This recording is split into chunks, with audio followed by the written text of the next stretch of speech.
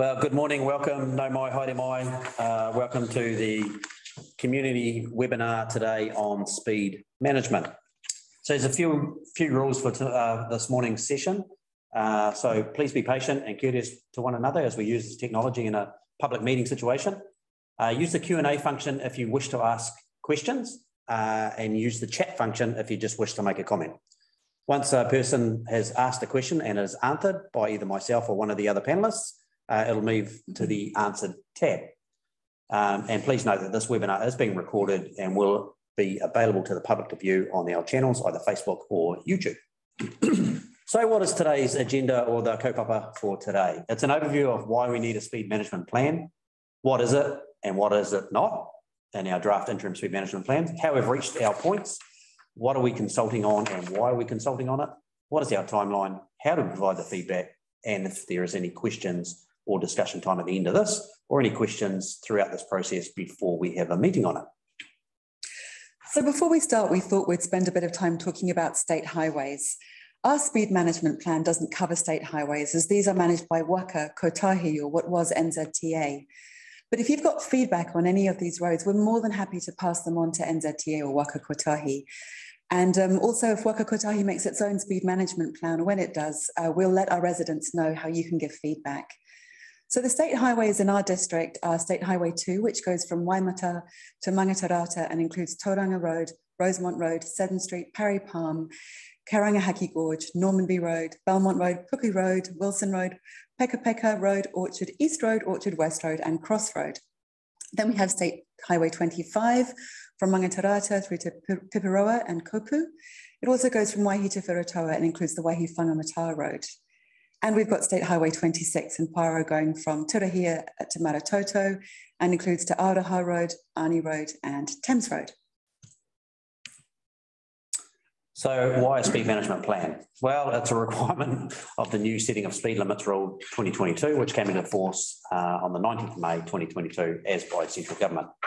And council must aim to achieve safe speed limits around schools, uh, 40% of those by June 2024 and 100% by December 2027. Everyone makes mistakes and how can we assist to reduce the risk and or harm? So you've probably seen the campaign, it takes everyone to get to zero. And that's what we're aiming for is zero road deaths. So speed limits and safety work are just part of this picture. And to assist with that, we've budgeted 35 million in the next 10 years to do road surfacing and pavement rehabilitation because we know it's not just about speed limits, but there's um, other things that need to happen to make our roads safe. So, uh, the Waikato region, uh, I sit on a regional transport committee and I get these stats uh, every month.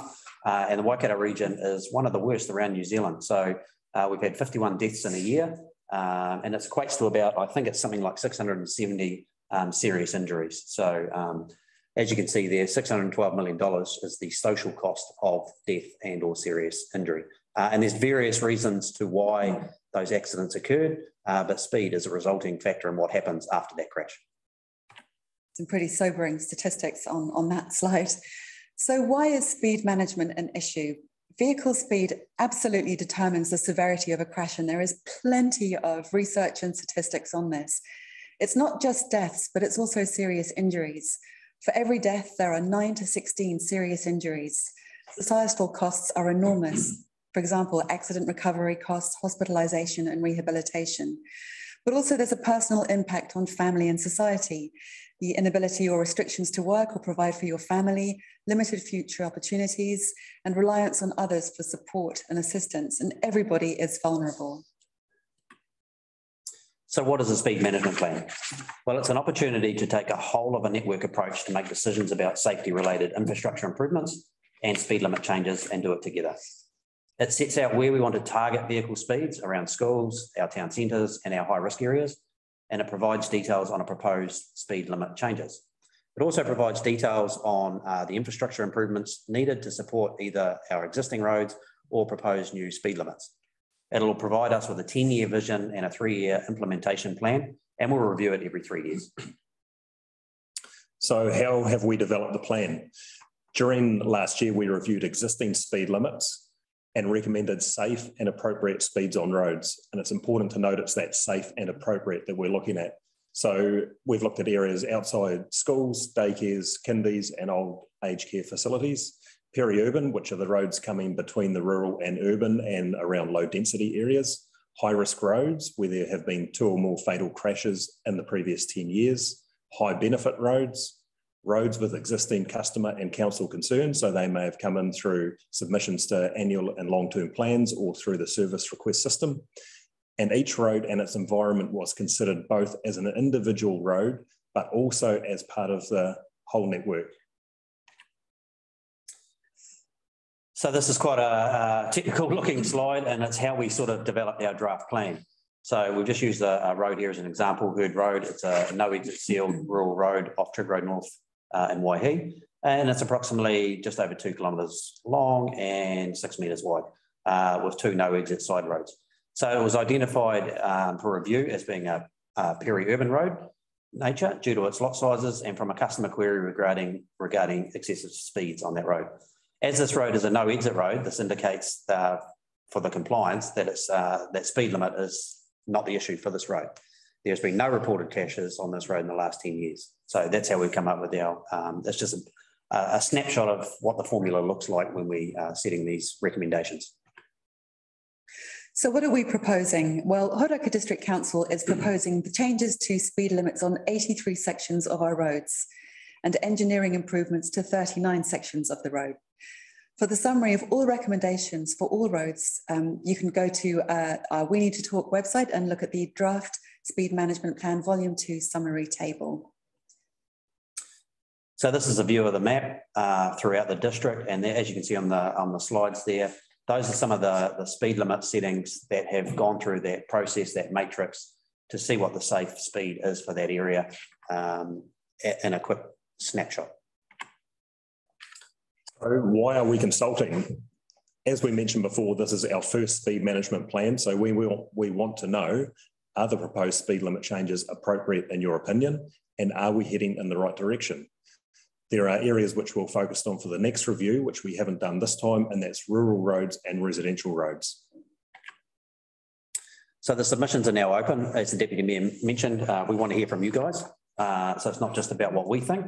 Um, we've put it through a robust technical sort of data analysis, uh, but we want to hear what the, the users of those roads think. So we want to hear back from you guys. So it's open now till the 20th of June. Then on the 13th of July, we'll hear all that feedback on the 29th of July, we'll consider uh, all that feedback and then deliver the final plan. And then after July 29, the implementation plan will be developed and changes installed subject to the funding availability.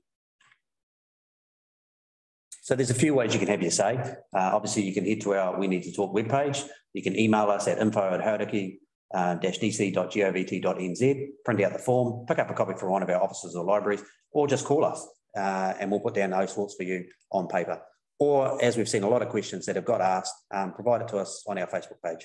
And we've had a few questions come in, um, some, some common questions and some common themes uh, from our Facebook post and just walking down the street. So uh, Anne-Marie, what are some of those common questions? Yeah, well, the first one, and this is a very common one, is why don't you just fix the roads instead of reducing the speed limit?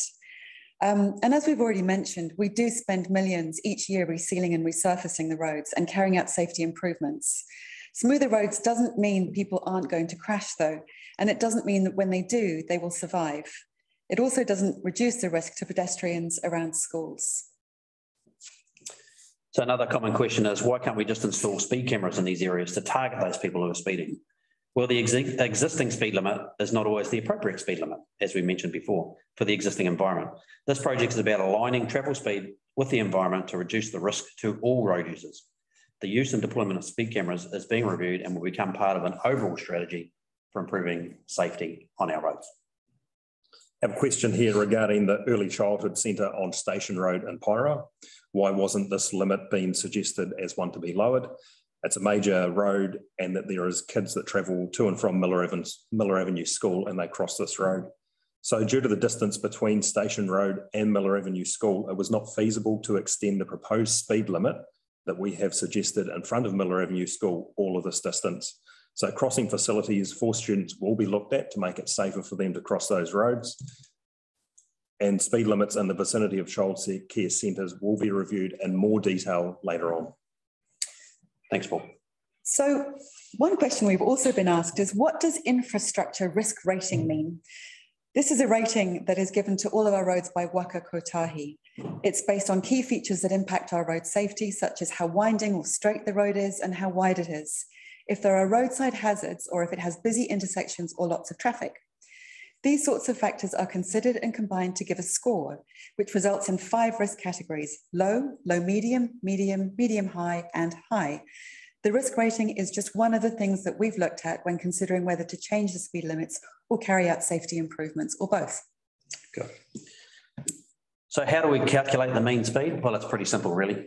um, it's calculated from the actual vehicle speed data that we collect from, um, from GPS units, um, from TomToms and your cars on built systems. And another short, quick one that we've got here is uh, my road isn't on the plan. How do I get you to consider the speed limit on this road before the next review? Well, just let us know. Cool. So we've had a live question come in while we're sitting here now. Are changes to road markings, such as painting red outside of schools, part of this proposal? That's exactly the sort of feedback we'd like to hear, and those are things that we would like to put in place um, if in the right area.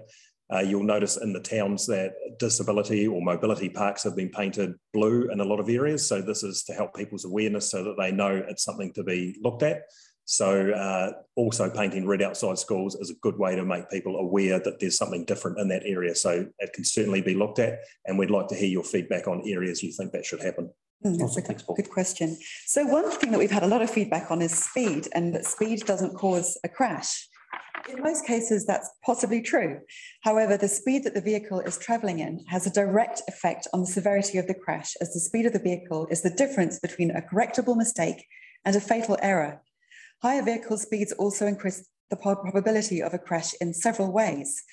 By reducing the capacity of a driver vehicle to stop time, by reducing maneuverability in evading a problem, by making it impossible to negotiate curves and corners at speeds which are too high for the friction available, by reducing the driver's field of vision and by causing others to misjudge gaps. We are trying to create an environment that increases the ability of people to survive crashes. And don't forget, it's not necessarily your speed that you're driving, but the speed of a car coming towards you as well. Thanks for that, Anne-Marie. So who is making you do this review? Now, this is a question we get all the time about any bylaw that we put in place. Uh, we know it's on the slide and we've talked about why we're doing it, um, but a lot of people will ask the question, why are we wasting time and money doing this when there isn't a real problem? Uh, that's a common question we get. Well, the New Zealand government is requiring all councils to undertake this work as part of their road to zero strategy. And as I said earlier, I sit on a regional transport committee and seeing the amount of deaths that we have in the Waikato, and some of those are in our Hauraki area, uh, it concerns me. Uh, and we want people to be able to go home to their families and their loved ones at the end of every day. So what can we do to improve bad driving habits? Because as we've said, it's not just the speed limits, it's people's bad habits as well. So this is part of it. Start the conversation. If you see people driving in a poor way, let them know about it. If they're your friends, have a conversation with them. Um, the more we call out this and make it socially unacceptable, the more likely it is to change people's behaviour. And it should be done in a nice way and have an actual conversation, two way conversation with a couple of people.